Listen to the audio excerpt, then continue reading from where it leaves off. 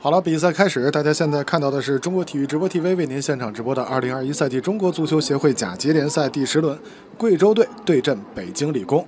本场比赛的主裁判是张龙，很伤士气。看这个球给的不错，贵州队的好机会到了门前，打门，球进了，十六分半钟。这是伊利哈木江这次右路的进攻啊，这是左边后卫压的太靠上了，李宪涛这个球防守是出现了一些小问题。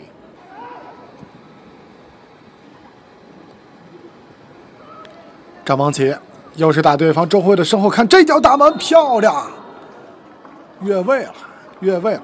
我们看张邦奇这个球呢，首先是摆脱了对方的防守，过来之后这脚传球哦。今天的第二助理裁判李少博，嗯，这个球打得不错，又是一个好机会，打门，哦，球又进了，球又进了。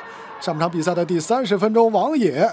林家豪一个看似解围式的传球，中场头球过渡一下，马上中路的队友送出一记直塞球，又是打身后。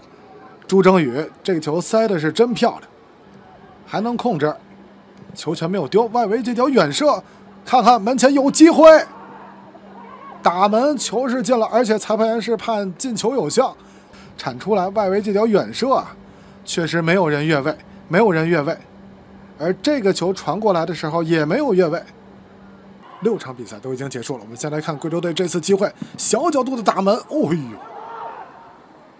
尽管这个球没有丢，但是我们看门将张金啊，对于自己队友的防守还是非常的不满。我们再来看一下这次打门，球到了对方的半场，先保证这个球能够不丢，能够自己不停的控制。看这个球给的不错，停的也不错。哎呀，最后的打门可惜了，打门啊！也没问题，因为凌空打的话，至少是完全可以发力。右脚一停，看这次，哦，这球打的漂亮！比赛的第五十九分钟，王选红，我们再来看一下，这球还是不绕过人墙，就是靠力度取胜。那么今天这场比赛到目前为止，贵州队是三比一领先着北京北理工。北理工。